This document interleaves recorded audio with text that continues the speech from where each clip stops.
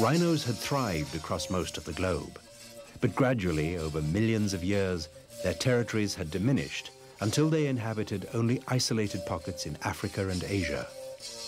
Now, all the true rhino descendants consist of only five species. These are the last of the gladiators. The Worldwide Fund for Nature launched an expedition to search for and film them before it is too late.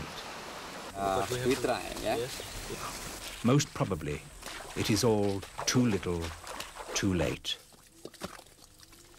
Perhaps these few creatures truly are the last of the gladiators.